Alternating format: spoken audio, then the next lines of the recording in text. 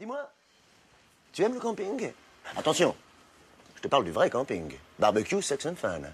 Eh bien, tu sais quoi, je vais te montrer ce que c'est qu'un vrai campeur. Allez, pour toi, public, aujourd'hui, c'est le mois de juillet. Viens. Non, les préservatifs. Alors tout d'abord, le campeur sur l'autoroute a force...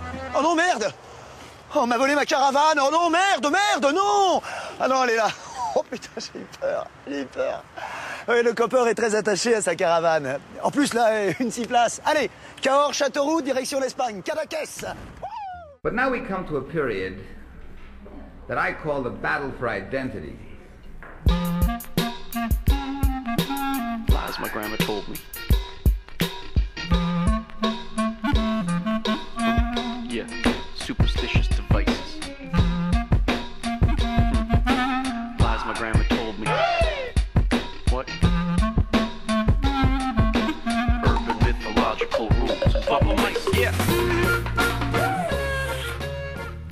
Salut les kids et bienvenue dans En attendant Godard, saison 13, épisode 41. Cette semaine, émission itinérance, sédentarisme et fight the power. Partir ou rester euh, pour survivre, aller sur la route toute la sainte journée et ne pas voir le doute en soi s'immiscer. Être sur la route toute la sainte journée si seulement on pouvait lire dans les pensées. Eh oui, vous êtes bien dans En attendant Godard, euh, l'émission de cinéma qui est mieux que les autres. Et donc, vous l'aurez probablement compris avec cette introduction et ce pré-générique. Donc, nous allons parler camping et tourisme à l'occasion de la sortie de deux films ces dernières semaines. Pour commencer, le documentaire 143 rue du désert de Hassan Ferrani. Et ensuite, donc, du film oscarisé, multi-oscarisé, même Nomadland de Chloé Zhao. Et pour parler de ce jeu au programme autour de cette table, il y a bien évidemment la fine fleur de la critique du Grand Ouest à ma gauche, toujours à ma gauche. Il y a carrément Fleuret. Bonsoir Thibaut. Salut Thomas, salut à tous. Il y a aussi le docteur Erwan. Bonsoir docteur. Bonsoir. Et il y a Justine. Bonsoir Justine. Bonsoir. À la mise en son de cette émission, bien évidemment, il y a Valentin. Bonsoir Valentin. Bonsoir. Donc voilà, nous sommes très heureux d'être avec vous en direct, n'est-ce pas, cher euh, docteur? Donc nous sommes de retour euh, depuis, euh, pour la première fois depuis le mois d'octobre dans les studios de Syllab, même si Euh, ce pas sont vraiment. mais un peu quand même des studios provisoires puisque donc il y a plein de travaux dans notre maison de la radio pour avoir un nouveau son suave et et délicat pour euh, vos belles oreilles. Mais donc euh, voilà nous sommes quand même de retour pour le coup en véritable direct. Et puis euh, enregistrer ça chez moi depuis mon canapé. Donc voilà nous sommes de retour dans les studios. C'est bien pour la fin de l'année un petit peu comme ça pour pour marquer les coups puisque ce sera l'antépénultième émission de la saison. Puisque nous ferons une dernière émission de Parlotte la semaine prochaine. Et on nous finirons bien évidemment par une mixtape. Car il faut toujours finir en musique surtout que ce sera pour clôturer la Coupe d'Europe mon cher Thibaut qui pour nous hier donc s'est arrêté pour la France. Alors euh, votre analyse de ce match? On n'a pas été bon. voilà Mais effectivement sinon, j'avais Ah, ils ont perdu. Oui. c'était Ah, mérité mais je sais pas, ça gueulait dans la rue. ah, c'était un, c'était un, comme un sacré putain de match, Ouais. beaucoup de rebondissements, une sacrée dramaturgie. Hollywood ferait bien d'en prendre de la graine. hein. Contre des Suisses. Contre, oui, contre les Suisses. Et voilà. Comme, comme un vrai film américain où euh, c'est où c'est les méchants qui gagnent, tu vois. D'accord. Mais voilà, plein de choses. Oui, c'était par rapport à notre retour en studio. J'ai envie de te dire que pendant les travaux, le cinéma reste Reste ouvert. ouvert. Exactement, merci euh, mon cher euh, Thibaut. Mais nous pourrons continuer à parler la semaine prochaine euh, de, de football, hein, bien sûr, parce que la Coupe d'Europe continue, et notamment ce soir en direct. J'aimerais bien savoir le score. euh, D'ailleurs, il y a l'affrontement entre l'Angleterre et l'Allemagne. Gros match donc qui promet de faire un carnage. Mais nous en parlerons peut-être à la fin de l'émission. Voilà. Donc, euh, sinon, avant de passer à la section critique de cette émission, donc. euh, des euh, pas des news agenda. Juste euh, un agenda local euh, ce jeudi à l'Arvor c'est le le dernier du coup de la saison des rendez-vous de Clair Obscur qui vous propose une soirée Paul Verhoeven Sharon Stone avec deux films donc qui vont passer en copie restaurée Total Recall et Basic Instinct donc qui a été restauré notamment en- récemment en 4K donc c'est jeudi soir à l'Arvor. Donc ça va être chouette. Ce sont deux très bons films évidemment de Paul Verhoeven qui d'ailleurs sort son nouveau film euh, au milieu de l'été si je ne m'abuse Benedetta donc film avec euh, des bonnes sœurs lesbiennes et Virginie Efira a priori on part quand même euh, plutôt sur un, on va dire, un a priori positif. Voilà. Euh, sinon, je crois que c'est tout ce que j'ai dans les. Il y a, il y a un festival de cinéma expérimental argentique. Ah, ça va. Ah oui, c'est vrai. Euh, Aux ateliers d'Aran, le festival Obscura qui commence le 1er juillet. Jusqu'au 3, normalement. Voilà, donc il y aura trois jours et on pourra peut-être en parler rapidement la semaine prochaine. Mais donc euh, commence le 9 juillet à la salle de la Cité, notamment le festival du film de l'Ouest. Tout à C'est fait. ça. Donc duquel vous êtes partie prenante, ma chère Justine. Donc euh, vous avez des infos à froid. Et bien sûr, si tu le moindre ragot, n'hésite pas à les raconter à l'antenne. Nous, c'est quand même principalement ce qui nous intéresse dans le cinéma. Il n'y aura pas assez d'une heure, mais. euh, Non, voilà, très bien. On fera une spéciale. Euh, sinon, pour les sorties de demain, donc euh, quelques petites choses dont nous ne parlerons pas la semaine prochaine, mais qui pourront vous vous intéresser, chers auditeurs. Donc, euh, j'en parlais tout à l'heure avec Thibaut qui aime les films politiques. Il y a le nouveau film de Anne Fontaine qui s'appelle Président, avec Grégory Gadebois et Jean Dujardin. Donc, euh, Sarkozy-Hollande fictionnalisé sous le regard acide et acerbe de Anne Fontaine. Ça promet, hein. Voilà. Sinon, euh, pour euh, Erwan, car je sais qu'il a la main verte, il y a une comédie avec Catherine Fro, euh, La fine fleur. Oui, qui a l'air bien. Oui, ça a l'air bien. Ça a hein. l'air bien pour les gens qui aiment le jardinage. Oui, un beau film social Voilà. de vieux. Voilà. Sinon, bah, ça c'est pour moi, c'est le nouveau film de Franck Dubosc hein, qui s'appelle Le sens de la famille. Donc tout est dans le titre. Exactement. Ça promet Franck Dubosc qui va jouer plusieurs personnages comme ça un peu, tu vois. Genre, Je crois qu'Erwan. Floclet m'a dit il qu'il est sorti au, il est sorti au bout d'un quart d'heure. Oui, il est sorti au bout d'un quart d'heure et ça, je lui en veux beaucoup. Moi, Franck- je pense que j'ai vu au moins. Toi, t'es sorti d'Opération Portugal au bout de 55 minutes, alors ne te vante pas s'il te plaît. C'est la première fois de ma vie que je sors Ouais, d'une salle. ouais, donc c'est ouais, vous ouais. dire- Je n'ai jamais quitté un film de Franck Dubosc en cours de projection. Et j'ai vu quand même 95% de, euh, euh, de sa filmographie. Je pense qu'il m'en manque un ou deux au tout début quand il est jeune. Peut-être que celui-là, ça sera le film de trop. euh, Je ne pense pas, non. pas. Euh, sinon, il y a le, donc, le nouveau film euh, de Julie Delpy comme, euh, comme réalisatrice qui s'appelle My Zoé. Moi, j'aime beaucoup le taf de, euh, de Julie Delpy comme metteuse en scène, donc j'ai assez hâte de voir ça. Donc, sinon, il y a le nouveau film d'horreur de Julien Maury et Alexandre Bustillo. Avec donc, la maison sous la, oui. la maison sous le lac. qui s'appelle The Deep House. Je pense que j'irai j'irai vérifier ça. J'ai parfois des velléités tous les 2-3 ans d'aller voir le cinéma de genre français pour voir comment ça, ça, se ça passe. sent un peu son film concept, mais bon, pourquoi Voilà, pas. mais pourquoi pas Et sinon, donc, il sortira pour le coup mardi prochain, puisque le Festival International du film de Cannes euh, va commencer sous peu. On, on se demandait c'était quand d'ailleurs, cette semaine ou la semaine prochaine, on ne sait pas trop. Mais en tout cas, donc, il sera en compétition. Il y a le nouveau film de notre copain Léo Scarax, euh, Annette, avec la musique des Sparks, euh, qui va sortir. Donc, il le sortira normalement directement mardi prochain. Voilà, bien sûr, il y aura plein de choses euh, au cours de l'été, notamment deux sorties qui vont nous intéresser le 14 juillet. Donc il y a Fast and Furious 9, bien évidemment. Et il y a les mystères de Saint-Tropez. Hein, J'en ai déjà parlé. Oui, donc j'ai vu la bande-annonce Oui. euh, récemment, Oui. ça a l'air pas bien. Oui, ça a l'air. Ouais, moi, je suis chaud comme la braise. Tout hein. est gros. Je suis chaud patate. Ah bah oui, mais c'est là. Tout monde est gras dans Oui. ce film-là. Euh, la grossophobie n'a pas sa place dans cette Non, je sais, mais euh, c'est, c'est, je pense que Dupardieu et euh, Clavier, il faut qu'ils arrêtent de manger du pain. Ils n'arrivent plus à descendre des escaliers, quoi. Du pain euh, complet, ouais, Mais bref, en tout cas, un programme d'été absolument faramineux et formidable. Vous le serez convaincu comme moi. En tout cas, moi j'ai hâte. Au 14 juillet, ça va être une sacrée journée, hein, croyez-moi. hein. La fête nationale à côté, c'est vraiment pour les fiottes. hein. Donc, bref, on pas d'autres informations, je crois. On va passer à la section critique de cette euh, émission. Donc, on va se diriger euh, du côté du désert, du côté du Sahara.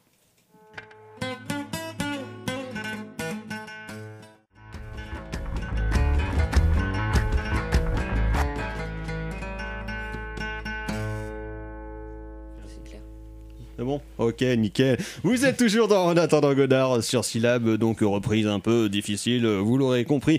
Et donc c'était euh, Mdou Mokhtar avec euh, son titre Laila, extrait de son excellent dernier album euh, Afrique Victime, donc genre de, de rock du désert, comme on dit, de blues touareg, absolument formidable, un album absolument merveilleux. Et donc euh, ça n'a pas vraiment de rapport avec euh, la tisane dont il va être présent euh, dès à présent, si, sauf si comme Thibaut, mais on a bien sûr des pensées un petit peu colonialistes sur l'Afrique, donc puisque l'Afrique noire et l'Algérie, ce n'est pas la même chose, hein, je vous le rappelle, car donc le film de Hassan Ferrani, dont nous allons parler dès à présent, 143 rue du désert, donc se déroule dans une partie du Sahara, donc dans le Sahara algérien, où une petite boutique, on va dire un point relais sur la route, euh, est tenue par une vieille dame qui s'appelle Malika, qui a un peu plus euh, d'une soixantaine d'années. Et Moi, en j'ai lu 74 ans. moi. 74 Ah ouais. Ouais, ouais. Bah, elle fait pas son âge. Hein. Elle est, oui, effectivement, elle est en 47. Donc, euh, effectivement, bien joué, euh, Erwan. Bien joué.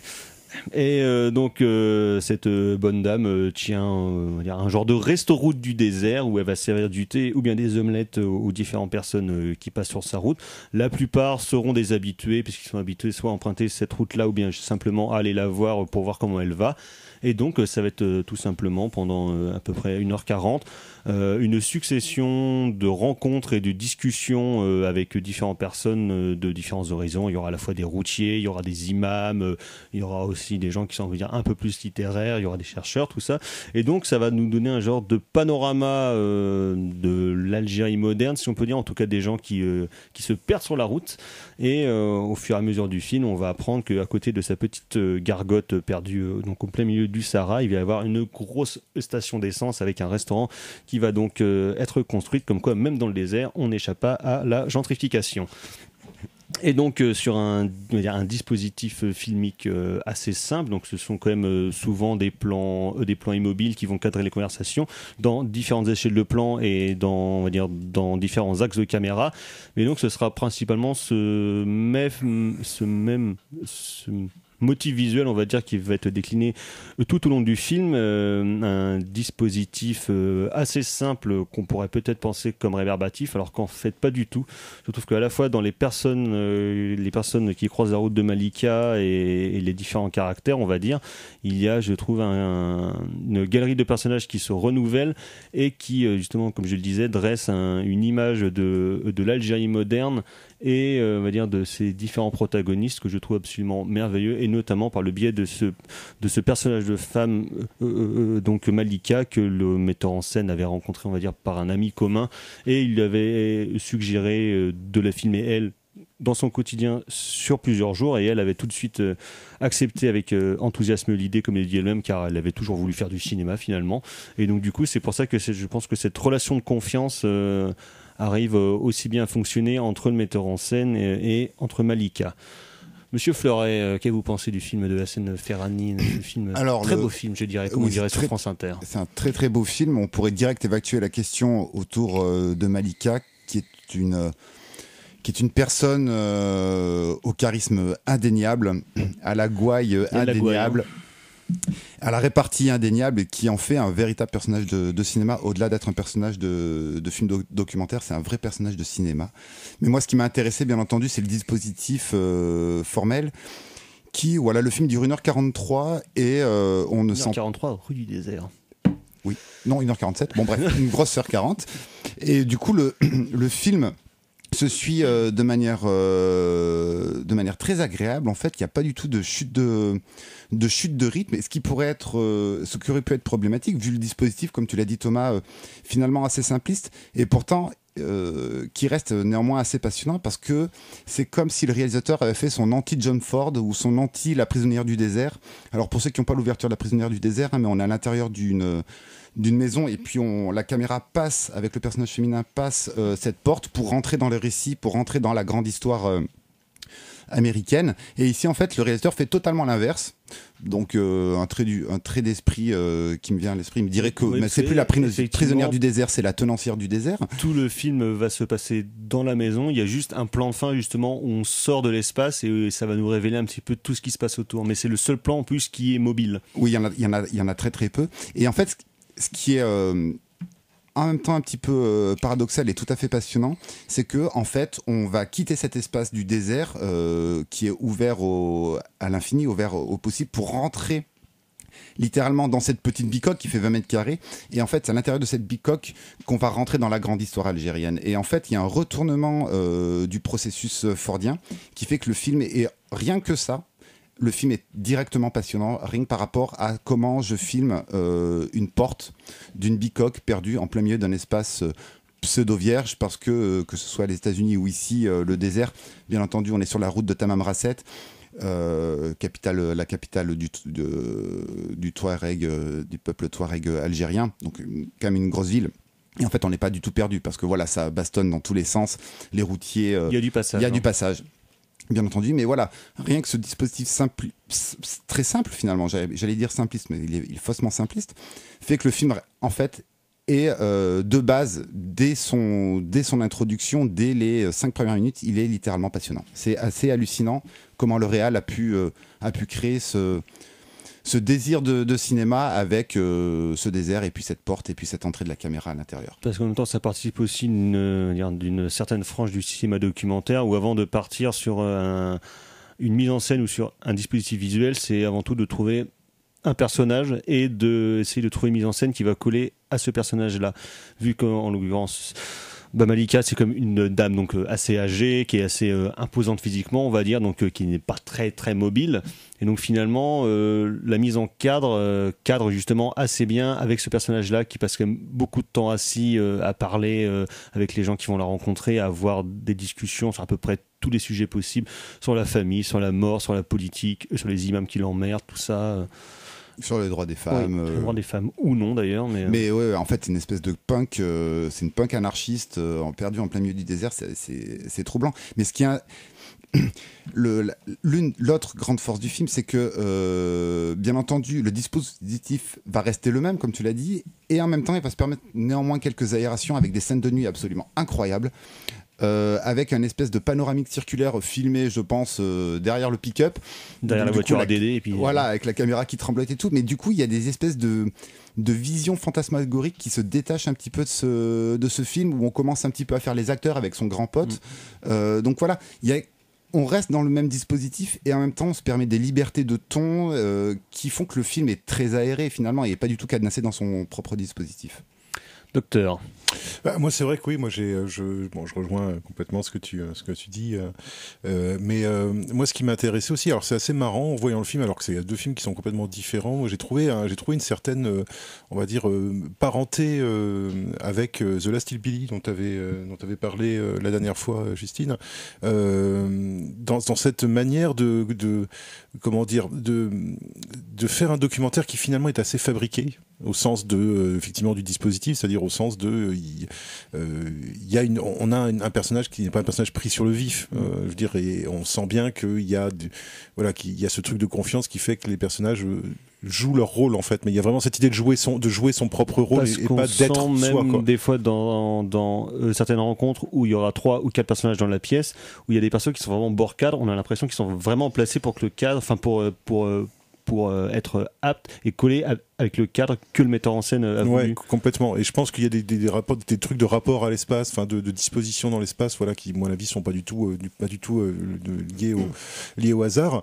Euh, mais justement, moi, c'est ça qui m'a intéressé. Enfin, il y a deux choses, moi, je trouve, qui rapprochent le film un peu de, de, de The Last Hillbilly. Il y a d'une part ce- le fait de, comment dire, de révéler en fait la part de la présence du documentariste en fait en cours de film, alors qui dans The Last Hillbilly arrive à la toute fin du film et qui là arrive très très tôt avec notamment des parfois la voix du réalisateur ou euh, des, euh, des, euh, des regards caméra qui sont pas du tout coupés ou même des, euh, des, des adresses directement en fait à la, à la caméra. Des gens quand ils partent ils font un petit salut ils font un petit salut à la caméra. Enfin voilà avec Les gens polis, voilà ouais puis l'idée que le- la caméra fait partie de l'espace en fait qu'elle est pas une intruse en fait mais qu'elle est acceptée par tous les participants à cette espèce de petit théâtre voilà en plein milieu du en plein milieu du, du désert. Et puis il y a notamment la scène voilà la scène de la, la scène justement où il y a un, un de ces un de ces un de ces visiteurs qui voilà qui va se mettre derrière une fenêtre et ensemble ils, ils improvisent entre guillemets une scène de une scène de visite à la prison.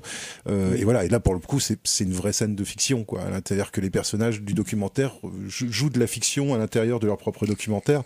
Euh, évidemment ça renvoie évidemment au fait que bah, un documentaire c'est jamais une prise une captation du réel. C'est une euh, voilà c'est une, fiction du réel ou une, mise en fiction du réel d'une manière ou d'une autre. Et notamment lorsque le dispositif est très est très est, très présent. Et puis il y a une deuxième chose moi qui me je trouve qui, qui qui a fait vraiment qui connecte vraiment les deux films au fur et à mesure que je le voyais euh, c'est cette espèce d'idée de, rester évasif. Euh, cette espèce de, côté vague en fait. C'est à dire que dans le personnage de Malika on sent elle nous raconte des trucs voilà, et on, on sent, on sait qu'elle a été chassée d'une ville qui est à côté. Elle a été chassée visiblement parce qu'elle était considérée comme euh, dévergondée, délurée, le rapport compliqué éventuellement avec, avec, un soupçon d'homosexualité euh, dont on ne sait pas si euh, il est euh, réel ou non. Mais c'est une femme qui- de 70 ans qui n'a pas d'enfant. Enfin, j'imagine que c'est assez anormal, en tout cas que c'est assez singulier. Euh, je veux dire que ça soit euh, notable. euh, que ça soit en France euh, ou en Algérie, je pense que c'est un peu la même chose. Ça reste singulier. Et là, il y a, on sent qu'il y a toute une histoire euh, derrière. Il y a ces petits enfants qui viennent la voir, ses petits neveux, on sait pas trop. Et, je trouve que dans, le, dans cette, ce truc à la famille, il y a ce même truc que dans The Last où au bout d'un moment, on sait pas trop à qui on a affaire, on sait pas trop quel- comment ça fonctionne. Et c'est pas très grave non plus quelque part. C'est-à-dire que le documentaire ressent pas le besoin de nous surexpliquer et de, au contraire, il ressent le besoin de garder du hors champ pour, pour que l'imaginaire du spectateur puisse continuer à fonctionner à travers une chose qui est réelle. Voilà. Et euh, c'est vrai que les deux, moi je trouve que les deux films, alors que en termes de mise en scène, c'est complètement différent. euh, les, deux films, il y en a un qui est voilà vraiment sur la sur la fixité, l'immobilité, le cadre. L'autre qui est beaucoup plus voilà sur une captation euh, beaucoup plus sensorielle. Mais je trouve que dans la dans la manière d'aborder le documentaire, je trouve qu'il y a vraiment ces deux ces deux choses là qui sont qui sont en commun.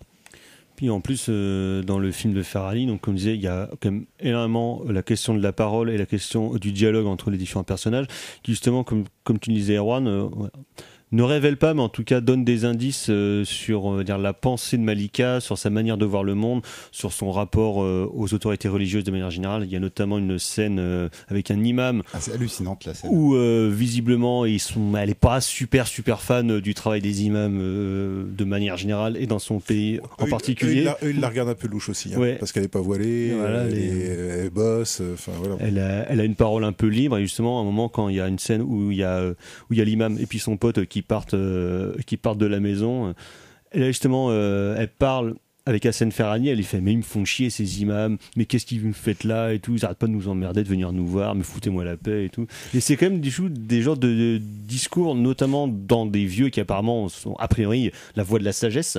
Là c'est une euh, on va dire, mais qui ont connu euh, aussi ouais. l'intégrisme dans les années 90, donc Ouais. savent, enfin, on est en Algérie, hein, donc Ils ont le- connu, le- bah, déjà, voilà. elle a connu la guerre d'Algérie. Elle a connu la guerre d'Algérie, puis elle a connu, le, elle, a les connu les, pardon. elle a connu les années 90 et le, voilà, les, les, les attentats, les attentats, les attentats intégristes, quoi. Donc, euh, donc, enfin, l'Algérie est un pays qui est bien placé hein, pour savoir, euh, voilà, ce que la religion peut donner quand elle, quand elle, quand elle vire vers, quand elle vire au fanatisme. Mais moi, justement, ou la politique. il y a un plan moi qui m'a beaucoup intéressé. Alors ça- je sais pas s'il faut l'interpréter comme ça, hein, mais euh, juste après cette scène avec l'imam, il y a ce fameux plan qui tourne autour de la maison, qui est un des rares plans en mouvement en fait du film. Et en fait, je me suis dit en regardant ce cube comme ça autour duquel on tourne, je me suis dit mais c'est marrant, ça ressemble à la, à la pierre noire à la Mecque.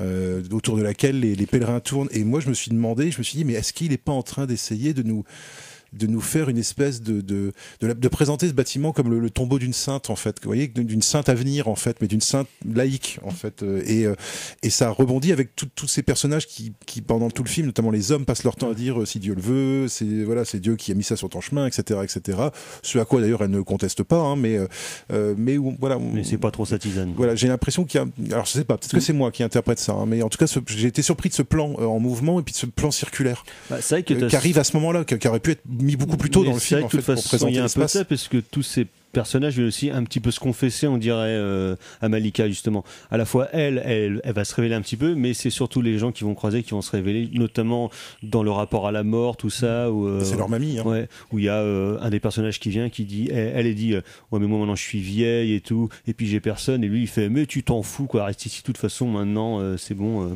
parce que t'es chez toi quoi. Donc foutu pour foutu, euh, autant rester ici et faire encore du bien euh, aux gens qui passent te voir.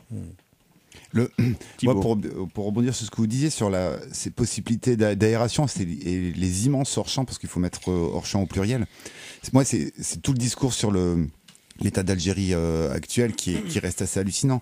Euh, tu le disais, le discours sur le, le fanatisme religieux, bien évidemment. La corruption. Le, le discours sur la corruption des élites, euh, qui revient quand même assez souvent, et, et aussi une espèce de, jus- de justice qui fonctionne mal. Il me semble que c'est pas un hasard s'ils refont une scène de prison dans, cette, dans, dans ce moment de, de fiction. Surtout qu'on ne sait pas le vécu qu'il y a par rapport à ça. On sait le qu'on n'a aucun moyen de savoir si le gars a déjà été en prison ou On non, ou s'il joue la comédie lui aussi, ou s'il répète quelque chose qu'il a peut-être déjà vécu par lui-même. Alors, il me semble que il, il- joue une scène où lui a été emprisonné pour un vol de cigarette, me semble-t-il.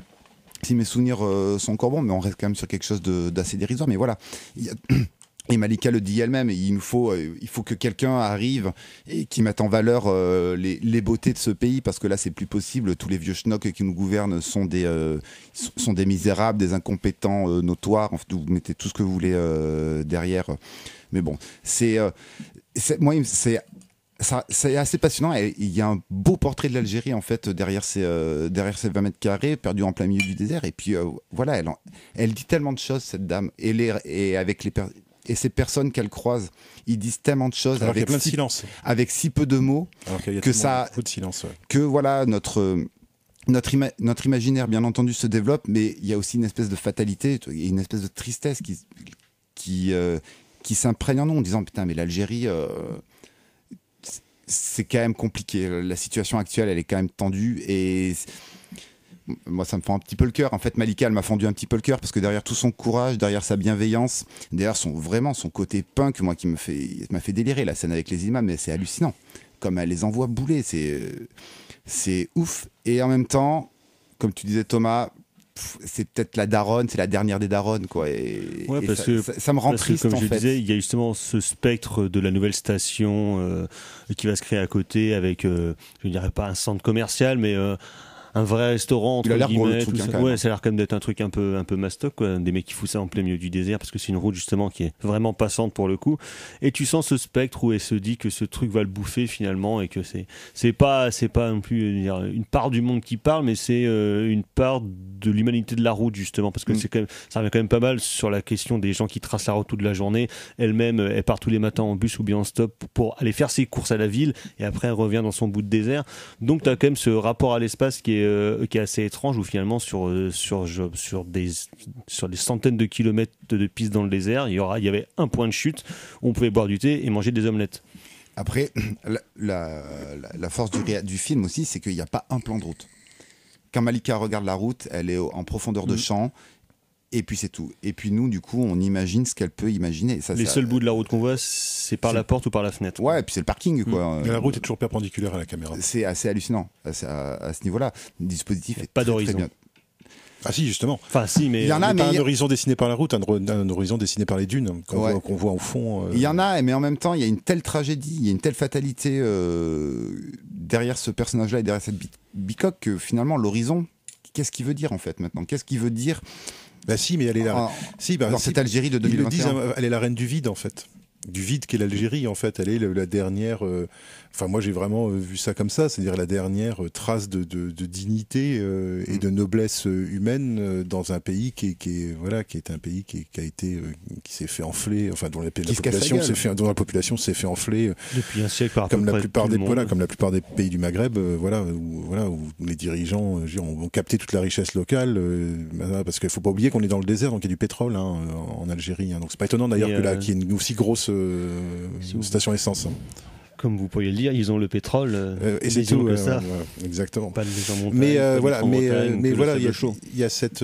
et puis moi, je trouve aussi que le, le- le film arrive vraiment à dépasser le, comment dire, le, le misérabilisme. C'est-à-dire que notamment, il y a une scène, moi, je trouve que j'ai trouvé assez habile, avec un gars qui recherche son frère, et elle, elle raconte qu'elle a perdu sa fille. Alors tout d'un coup, moi, je regarde le film, je dis, mais elle, elle disait qu'elle n'avait pas d'enfant, alors ça veut dire qu'elle.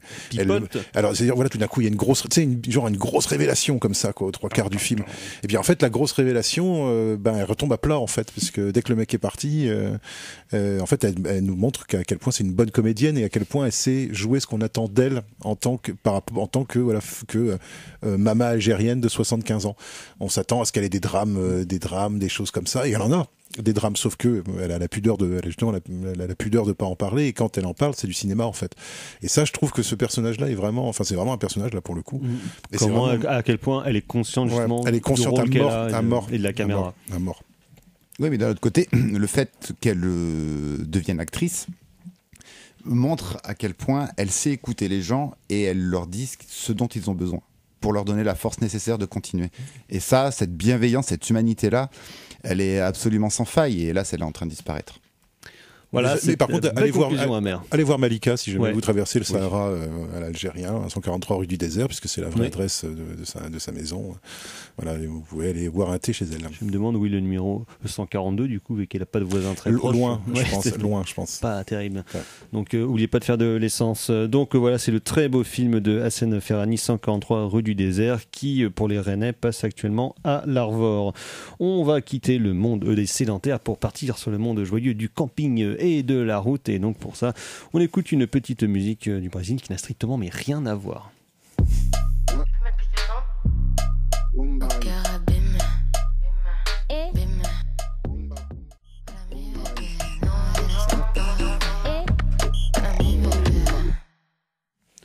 Vous êtes toujours dans En attendant Godard euh, sur Syllab, donc c'était Lazuli avec le morceau Zéro, euh, donc euh, chanteuse franco-brésilienne, extrait de son premier EP qui s'appelle aussi Zéro, donc euh, six titres absolument formidables pour enjailler votre été. Mais sans jaillir, ce ne sera pas le cas avec Nomadland, donc euh, le nouveau film de Chloé Zhao, réalisatrice euh, américaine dont nous avions traité ici il y a quelques années de son The Rider, euh, que mon cher Carrément Fleuret, vous aviez beaucoup aimé. Oui. Donc euh, Chloé Zhao, nouvelle, enfin jeune metteuse en scène récemment oscarisée donc pour ce film A Nomadland et qui donc a, on va dire, un peu déçu euh, tous les espoirs euh, du cinéma indépendant américain. Et donc pour le coup, ça les a bien fait chier parce qu'elle avait pas signé un film Marvel. Donc euh, comme quoi. Ah, merde. Eh oui, un film, un film de super slip Marvel. Putain, Eh oui. quoi. Eh oui. Comme quoi, on a beau être dans le cinéma indépendant, on en aime pas moins l'argent. Et donc, euh, Nomadland, donc j'ai son nouveau film qui s'est tapé l'Oscar du meilleur film euh, ou meilleure metteuse en scène, je ne sais plus. réalisatrice. Meilleure réalisatrice. euh, Et meilleure actrice pour. euh, euh, pour, Frances. pour Frances McDormand, donc euh, qui interprète le rôle principal de, de ce film, donc euh, qui parle de notre bonne vieille amie Frances, euh, qui donc euh, ne tourne n'a pas tourné là pour le coup avec euh, son mari de frère euh, Cohen donc on est dans une veine un peu moins funky un peu moins absurde étrange que les films des frères Cohen Quoique. Quoique, il y a- des choses qui se rapprochent. Et donc, euh, ça parle d'une femme qui a une vie pas facile. Euh, Elle a un deuil, elle a plus de boulot, elle a un peu une vie de merde. Et donc, euh, pour subsister à ses besoins, comme beaucoup de ses petites camarades d'infortune, on va dire, elle va devoir partir sur les routes toute la sainte journée. Donc pour trouver du travail et notamment en tant que, que saisonnière dans cette belle entreprise euh, qui est Amazon, donc de notre copain Jeff Bezos, Jeffrey Bezos. Et euh, donc Faut oublier qu'il y a baise hein, dans oui, Jeff Bezos, Jeff. Bezos, hein. Et os. Bon. Et os, voilà. Voilà. Donc, euh, complété par. Et donc, euh, elle va découvrir que la vie sur la route, malgré les, mal- malgré les malheurs, malgré les problèmes, c'est bien, car il y a, comme dans le cinéma, c'est le plus important, ce sont les rencontres. Et donc, les rencontres, c'est- quand même ce qui fait le sel de la vie. Donc, on va dire un parcours pas facile, avec un sujet pas, a priori, pas super agréable, et justement, un film qui, je trouve, l'est un peu trop. C'est-à-dire que c'est un film, je trouve, pas feel good, mais euh, et qui m'a un peu dérangé sur pas mal d'aspects de sa mise en scène, on va dire de son, on va dire de, ouais, de sa monstration de certains aspects de la vie de ces travailleurs nomades qui sont bien souvent des personnes à la retraite, mais qui ont des retraites de merde. Mais vous inquiétez pas, on y arrive aussi, hein, et qui donc pour continuer à, vivre décemment sont obligés de travailler bien au-delà des 64 ans, n'est-ce pas, Monsieur Bruno Le Maire Et euh, donc je un, un, sujet de film de film social, on peut dire qu'on pourrait presque dire à la Ken Loach, mais qui serait mis en scène euh, avec la grâce du Sean Penn de Into the Wild. En, termes de mise en image et en termes de propos, c'est un petit peu, je trouve, la réunion de, ces deux univers-là qui ne sont pas forcément euh, les meilleurs côtés de leurs metteurs en scène respectifs, ce qui du coup m'ont un peu gêné parce que je trouvais que c'est un film en fait qui est trop, qui à la fois qui est trop didactique, euh, qui est presque trop gentil, qui est entre guillemets trop beau ou en tout cas avec des personnages qui sont conscients que les choses qu'ils regardent sont quand même vachement belles et en plus ils disent regarde quand même qu'est-ce que c'est beau et là tu vois un plan tu dis ah oui quand même qu'est-ce que c'est beau et je trouve que ce qu'est-ce que c'est beau un peu trop constant et cette euh, cet émerveillement finalement euh, à la moindre tuile euh, qui puisse arriver au personnage moi m'a un petit peu gêné en tout cas à, venir freiner mon identification à ces personnages là et notamment dire sur certains aspects de leur vie et de leur travail pour Amazon qui me semble quand même absolument aberrant où tous les gens qui bossent Amazon sont quand même super sympas.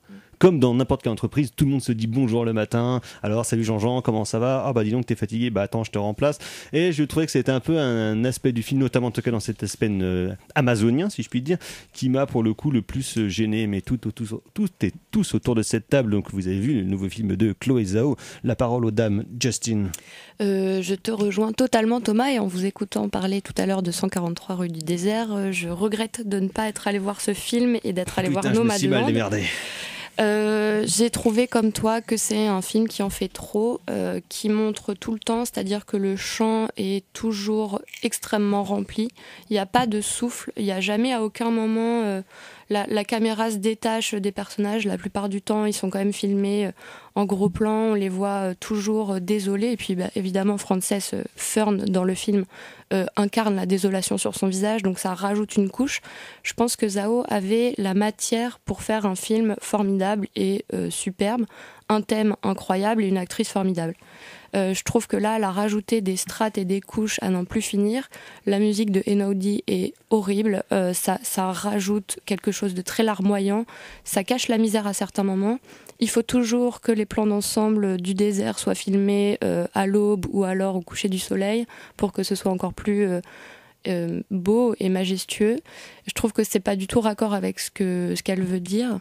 Et en même temps, je sais pas vraiment ce qu'elle veut dire parce que comme tu le dis, comment elle montre la manufacture et, les entrepôts d'Amazon, il y a quelque chose de très édulcoré qui moi me plaît pas du tout. Et de plus, je trouve qu'il y a une facilité dans le scénario, c'est-à-dire que McDormand Fer- Fern euh, va rencontrer ces gens au fil de, de son aventure. Et il y a toujours des moments où elle va rentrer dans des appartements, des maisons extrêmement cossues. Elle va rentrer dans une liberté, euh, euh, dans des richesses euh, qu'elle n'a pas.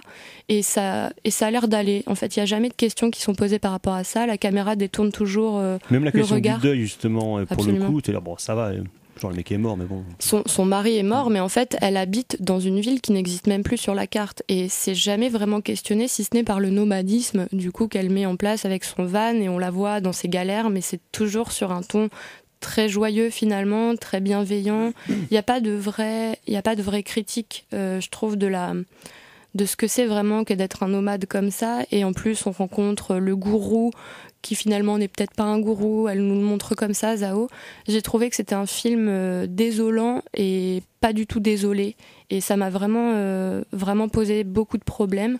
Je pense que c'est un film qui est fait pour les Oscars, clairement, parce que les plans sont absolument majestueux et on a tout à fait envie d'aller les voir. Euh, de voir ces paysages euh, grandioses. Mais pour autant, je pense qu'elle passe complètement à côté de son sujet et qu'elle est euh, beaucoup trop enfermée dans des tics esthétisants qui, je trouve, ne servent pas du tout le propos. Alors, la vie sur la route et la vie en camion, mon cher Thibaut, vous connaissez ça, on peut le dire. En Bah oui, plus, au euh, moins elle donne des petites, des petites astuces Voilà. pour comment bien aménager son camion. ah, donc, c'est quand même un peu renseigné. c'est un peu Voilà, moi j'ai pris. Euh, non, alors, euh, je serais moins, Moins catégorique. moi, je serais moins catégorique que vous par rapport à ce film-là. D'une part parce que Frances McDormand est une évidence. Euh, bon, ça va de soi, mais euh, là, elle porte le film admirablement bien sur ses épaules. Et il me semble que le film, surtout, euh, n'a pas vocation à être une critique, mais je pense que c'est un hommage et ça répond à une question c'est quoi être américain en 2021 Euh, Alors, euh, elle. Frances McDormand, c'est la nouvelle pionnière du 21e siècle. Euh, c'est littéralement. Alors ça, je suis d'accord avec vous. C'est littéralement dit dans le film, alors qu'on aurait pu le comprendre nous-mêmes. Donc ça, c'est un petit peu emmerdant.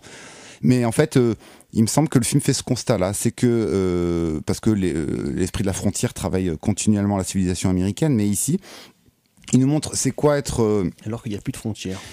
oui, mais la frontière, elle peut être mentale. Mais c'est quoi être une ou économique Mais euh, ici, c'est euh, oui, c'est quoi être une, une pionnière euh, dans l'Amérique de 2021 Et ben, en gros, c'est constamment prendre la route. hein. Alors, la prise de la route, c'est c'est un, un leitmotiv hein, dans la civilisation américaine. Quand ça va pas, on prend, on prend, euh, on plie les bagages et puis on se casse, voir si la- l'herbe est plus verte euh, ailleurs. Et ici, l'herbe n'est jamais verte. Et ça, ça, ça, ça m'intéresse parce que, euh, en fait, il me semble qu'il y a deux, il y a deux trois éléments intéressants. Alors, on va passer sur les euh, sur les côtés, euh, les paysages filmés au lever ou au coucher du soleil, sur les inspirations un petit peu malikiennes du film, imbrication malikienne du film, qui voilà, qui qui permettent d'aérer un petit peu le film, ce qui permet au film de ne pas tomber dans le misérabilisme, même si beaucoup de gros plans quand même. hein. Euh, Ken Loach n'est jamais loin, en effet. Et on va évacuer ça un petit peu. C'est le mauvais côté de Ken Loach. Oui, oui, oui. Mais voilà, c'est sur ce constat-là, et sur moi, le montage m'a plutôt intéressé, le film m'a intéressé dans sa construction, dans cette, cette espèce de cercle vicieux, avec des séquences qui littéralement reviennent euh, plan par plan. C'est le motif de la répétition, Voilà, et ça, qu'il ça, m'intéresse. Et ça, ça me, ça me questionne en fait sur ces nouveaux pionniers en fait qui sont littéralement prisonniers d'une condition américaine qui pourtant ils qu'ils célèbrent. hein. Pourtant, il y a le drapeau américain qui est, qui est en vue. On est les nouveaux pionniers. Enfin, il y a une vraie américanité là-dedans. Et pourtant, Zao nous dit ouais, mais quand même, cette américanité-là, elle, est, elle reste problématique parce qu'elle se mord la queue. Et, euh, et voilà. Et il faut pour euh, s'en sortir et pour arriver à la, à la conclusion et au, au plan final, qui le, le plan final est un peu tarte à la crème dans le cinéma américain, mais bon, il a le mérite d'être là.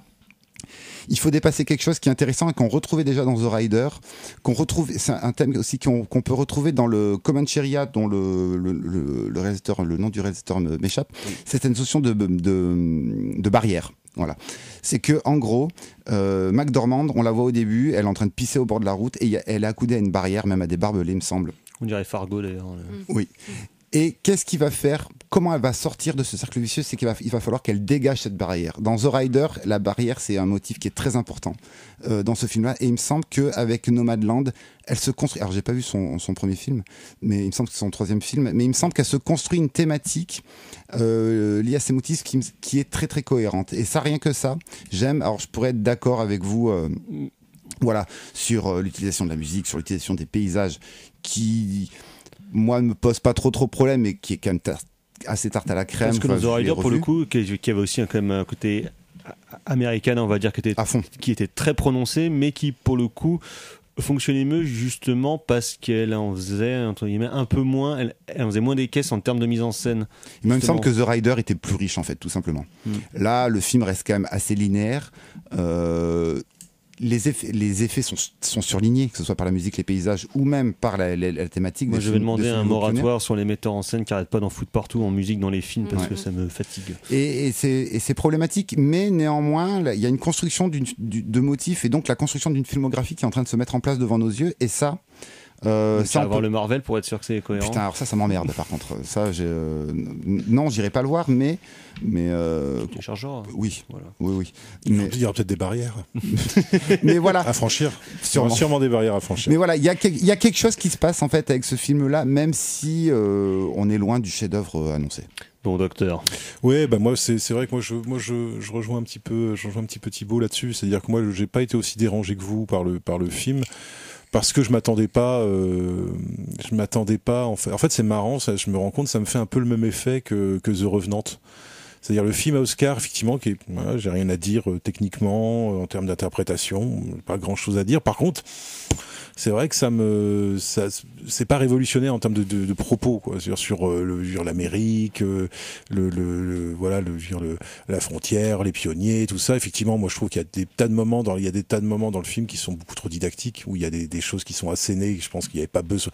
Enfin voilà, c'est, c'est alors, c'est ça le truc, c'est que je pense que si elle avait fait le film pour un public européen, elle se serait peut-être pas sentie obligée d'en rajouter des caisses parce qu'elle sait que c'est un film d'auteur et que pour faire venir les Américains à un film d'auteur, faut qu'il ait des Oscars, mais pour que ça, pour qu'il ait des Oscars, faut que ça soit à peu près clair ce qui se passe à l'intérieur du film. Donc, il y a peut-être aussi des trucs, voilà, de production, on va dire, euh, Une ambivalence qui, de production. voilà, qui rentre en, qui rentre en, qui rentre en jeu. Mais je connais pas le background du film, donc je vais pas me, pas me prononcer là-dessus. Après, effectivement, la musique, moi j'ai trouvé que la musique était, bah, pareil, assez, euh, assez cliché euh, de, de musique de film sensible sur des humains et tout ça. Bon, voilà. Des êtres fragiles, Voilà, comme un film avec Vincent Lindon. je suis pas, je suis pas convaincu. Par contre, euh, par contre, c'est vrai que moi j'étais, euh, bon après moi Francis McDormand, elle peut jouer un peu, un peu n'importe quoi. Moi ça me plaît quand même. Donc moi j'avoue que j'ai, j'ai assez, euh, je l'ai suivi moi dans ces, dans ces trucs de vie quotidienne, de, de, de d'échange d'objets, Ah, de, film, de, voilà. Mais je trouve que, je trouve que tout, ces- tout cet aspect-là du film de vie quotidienne finalement. Et il y a des tas de moments dans le film où moi j'ai eu l'impression que Francis McDormand, il y a des trucs qu'elle faisait pour la première fois de sa vie. Alors je sais pas si elle joue ou pas, mais il y a des, des tas d'actions en fait. Je me suis, j'ai eu l'impression qu'elle les faisait pour la première fois de sa vie. Et du coup, il y a une forme de spontanéité qui va assez bien avec le fait qu'il y, a y une espèce de parti pris un peu documentaire, puisque les autres personnages, à l'exception de David Strathairn, qui joue son, voilà, son, son love interest plus ou moins dans le film, et qui est très bien aussi, moi je trouve par ailleurs. Euh, voilà, il y a, tous les autres personnages sont des vrais personnages qui euh, jouent avec leur propre nom, enfin qui sont, en tout cas, des personnes qui existent dans la vraie vie, Leur qui sont des nomades, camion. voilà, qui sont des nomades, qui ont leur propre camion. Et je pense que en fait, aux USA l'année dernière, mais, mais en fait, je pense qu'elle a, J'en elle ai a- vu des gens euh, comme ça. ce qui manque peut-être à ce film-là, c'est peut-être qu'en fait, effectivement, elle n'est pas assez euh, focalisée sur son sujet. C'est-à-dire qu'elle se dit, cette histoire de mecs dans des caravanes, ça va pas suffire. Il va falloir rajouter de la misère Alors, sociale déjà derrière. suffisamment riche. quoi. Alors que justement, si elle avait fait comme dans 143 rue du désert, en laissant une une part peut-être un peu plus importante de hors-champ dans le background des personnages, euh, elle aurait très bien pu rendre euh, euh, ce truc qui moi m'a un peu surpris, cette espèce de forme de, résignation et que qu'on peut trouver extrêmement surprenante parce qu'on s'attend à un film engagé et euh, de ce point de vue-là, je peux pas dire que le film euh, soit pas surprenant parce que effectivement il y a une espèce de forme de résignation et pour moi le film est pas tant une critique du tout des États-Unis. À mon avis, c'est pas du tout ça la question. c'est plutôt de la capacité des Américains ou de l'humanité à s'adapter à son milieu, quel que soit le milieu, même dans un milieu dur, etc. Et euh, cette femme qui a vécu dans la même ville, avec le même mari, etc., et qui du jour au lendemain euh, est obligée, se- ça se fait naturellement parce qu'au fond d'elle, dans son caractère, il y a ça. Il y a cette envie, euh, il y a cette envie de partir, il y a cette. C'est ce que lui dit sa sœur. hein, de quand, partir euh, un jour. voilà, il y a sans ce que, lui dit- retour. c'est ce que lui dit sa sœur quand elle lui dit que voilà que, que quand elle était petite, elle était considérée comme excentrique et que voilà des choses que elle, elle a par amour euh, et puis avec le boulot, enfin voilà qu'elle a euh, qu'elle a euh, Bah, par contrainte sociale. voilà, qu'elle a enfermé en elle-même. Et là, elle le fait, mais c'est vrai qu'elle le fait pas non plus en mode faux folle. Et ça, j'avoue que j'apprécie beaucoup parce que moi, il y a rien qui m'énerve plus aujourd'hui que les personnages de jeunes femmes ex- excentriques. tu vois, moi, les, les trucs à la. Catherine Fro, quoi. Ouais, les trucs à la Fleabag en mal fait, tu vois. Moi, ça m'insupporte maintenant. Tu vois, les, les, les, les filles de 30 ans qui sont un peu folles, qui picolent un peu trop de vin blanc, tu vois, tout ça. Je t'avoue des que. énormes Bah, moi j'ai trouvé, moi j'ai trouvé que son personnage était, moi je l'ai trouvé son personnage crédible. C'est-à-dire que moi j'ai cru tout de suite à Francis McDormand dès que je l'ai vu, euh, dès que je l'ai vu devant son garage. Euh, effectivement, dans la neige du, du Dakota du Sud, en plus t'as tout l'univers des frères Cohen. D'ailleurs même t'as une, une- la chanson d'ouverture de The Big Lebowski qu'on entend un moment dans le dans le film. Donc voilà, on- évidemment c'est évidemment que Claire Zhao elle y pense et de commencer dans le Dakota du Sud avec son accent un peu traînant et tout ça, voilà, ça ça ça permettait de, de, de donner de la crédibilité immédiatement en fait à, à, à Francis McDormand. Mais moi, j'aurais presque plus été intéressé effectivement par son histoire d'amour. Est-ce que ça va marcher? Est-ce que ça va pas marcher? Euh, Que moi, j'ai trouvé assez touchante cette image de cette histoire de d'amour qui se fait pas trop entre deux personnages qui sont sans bien, qui ont des vues, qui sont un peu voilà, qui sont devenus un peu un peu un peu circonspects, un peu prudents sur le rapport à l'autre, euh, mais qui s'aiment bien quand même. Enfin, Ouais, puis qui sont des seniors, donc ils ont Voilà. tout un passif derrière. trouve que- et- et en fait, un ça, genre de flirt. euh, c'est- c'est- à la fois, il y a peut-être trop d'histoires, il y a peut-être trop de trucs à raconter dans son film et pas assez de concentration sur un, euh, un, un thème ou une thématique plus qu'une autre en fait. Et euh, tu vois, je pense que tout ce qui est euh, les trucs Amazon, tout ça, je pense là aussi ça aurait pu être intéressant, mais c'est un autre film. C'est-à-dire que euh, moi, par exemple, j'ai trouvé que c'était un film de, c'est un film de boîte, ce film-là. C'est un film de boîte où elle vit dans une boîte, elle met des boîtes dans des boîtes et, euh, et elle travaille dans des boîtes. Enfin, tu vois, c'est un film de rectangle. Et, euh, et ça, je trouve que formellement, il y avait un, un film emboîté. Ouais, il y, y avait un truc. Alors là, tu vois, si vous voulez faire un truc politique, il, il fallait pousser ce, ce- Mais tu vois, je trouve que c'est. Je sais pas si c'est conscient ou inconscient, mais en tout cas, c'est pas. À mon avis, c'est pas assez poussé euh, comme euh, comme dans le du côté du. film qui en fait trop et pas assez à la fois. C'est ça le truc. On est un peu un peu le cul entre deux chaises. Et pour autant, le film, moi, j'ai pas trouvé le film Une mauvais. Pour autant, j'ai pas trouvé le film mauvais. Euh, J'ai trouvé, euh, j'ai trouvé par contre qu'effectivement, il- l'errance, elle est du côté du personnage, mais elle est aussi euh, visiblement du côté de la, mise, de la, metteuse en scène qui sait pas trop bien où est-ce qu'elle va en fait. Bah, elle, a, voulu, euh, en fait, elle a voulu mettre tellement de choses dans son film et vraiment tellement rajouter des couches et des couches que finalement, et en plus, elle a digéré des cinéastes. On parlait de Malik, de Ken Loach, c'est tellement visible que ça en devient une énorme sentier perdu. où On ne sait plus du tout à qui donner du crédit, à qui euh, avoir. euh, Enfin, on est perdu en fait. Et, et en plus, il y a ce côté extrêmement euh, superficiel, moi, je trouve, et tu l'as justement dit, du fait qu'on n'ait pas euh, le droit d'avoir accès à des histoires, que ce soit l'histoire d'amour que, que Fern et Dave vivent ensemble, parce que du coup, il y a quand même. Je pense qu'elle aurait pu faire quelque chose de- d'extrêmement simple, beaucoup plus simplifié, en étant beaucoup plus pudique aussi. et de se reposer et- sur ces acteurs, sur ces ouais. acteurs qui sont, moi, je trouve très bien. Mais là, quoi. là, c'est il y a un trop plein. Bah ouais, c'est, c'est, ouais, moi j'avoue que je, je, je, je suis un peu partagé parce que j'ai pas du tout détesté le film. Alors c'est peut-être aussi parce que le, je sais pas pour quelle raison, mais le personnage de, de, de Francis McDormand me fait penser à ma maman. À ma tante, Euh, moi. voilà, ben voilà, Mmh. moi ça me fait penser à ma maman. Donc il y a des moments, en fait, il y a des plans en fait où moi j'ai été assez touché, mais pas pour des raisons qui sont qui tiennent au film. Je pense pour euh, des choses qui ont à voir.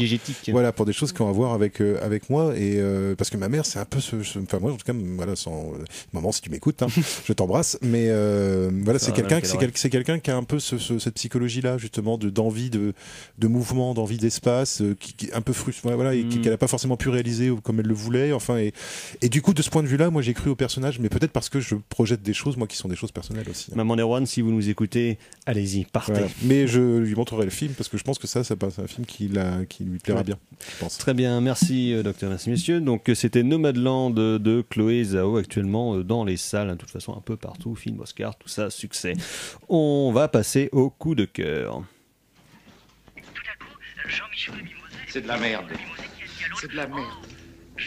Je voudrais que tout le monde s'imprègne. Tout Merde. le monde s'imprègne de cette C'est vraiment la plus de grande merde des merdes.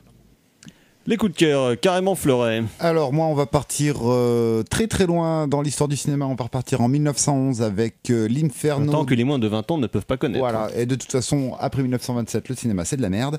Donc, euh, l'Inferno de, il y a d'un trio de réalisateurs de Francesco Bertolini, Adolfo Padovan et Giuseppe De Ligoro, ou en fait, comment Italien, le... hein. Oui, c'est italien, oui. Premier long métrage de l'histoire du cinéma italien, euh, si je ne m'abuse, et euh, comment le donc euh, adaptation de l'enfer de Dante, euh, influencé par les gravures de Gustave Doré, ou comment le merveilleux se part d'une noirceur absolue, des plans tous plus dingues les uns que les autres. Voilà, oubliez le magicien, le magicien d'Oz, le vrai merveilleux, il est là. Merci, euh, monsieur Fleuret. Docteur.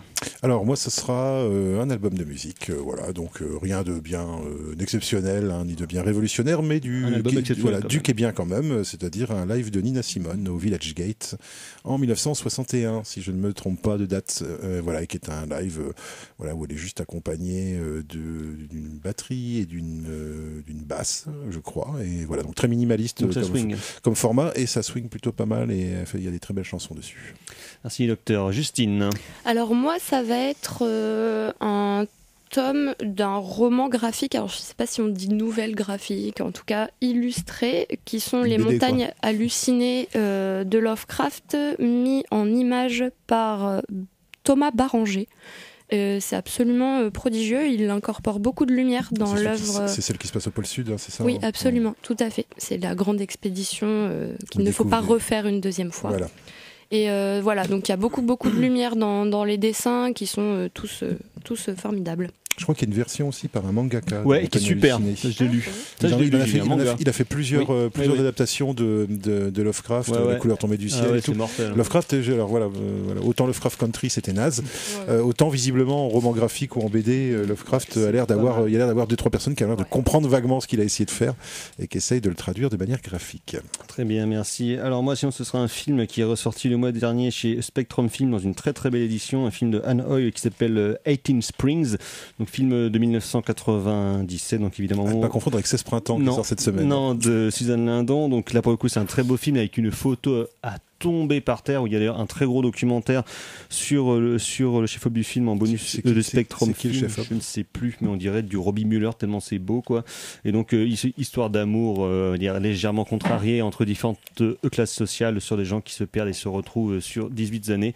Un film absolument prodigieux. De toute façon, on n'aura pas le temps d'en parler d'ici avant la fin de la saison, mais en tout cas. euh, Allez le chouffer, c'est absolument superbe. Et sinon, un petit coup de cœur quand même pour finir. hein, c'était le retour de Karim en équipe de France et qui a quand même planté 4 buts en 2 matchs et c'était vrai. Et quand même des buts, putain, là, euh, hier, des sacrés. Ouais, ouais, ouais, c'est bon, c'est c'est la bon, faute à ah, Mbappé, bon. de toute façon. Non, non, non, c'est la faute à Dédé surtout. Oui. Mais bref, euh, on en reparlera plus tard. Vous On en reparlerez plus tard. hein. Merci à Valentin pour la technique, Euh, merci messieurs, merci mesdemoiselles. Donc on se quittera la semaine prochaine pour la dernière émission de Parlotte de la saison. On se quittera en fanfare, hein, euh, s'il en est. Donc j'espère que vous êtes prêts parce que là ça va chauffer dans les En Bermudas. fanfare qui joue faux. Non, en fanfare qui joue d'une manière, qui joue de manière on va dire euh, pas super Voilà. Enfin, en tout cas expérimentale. Donc euh, voilà, prochaine émission, euh, prochaine édition. Merci à tous et à ciao, bonsoir. Salut. Salut.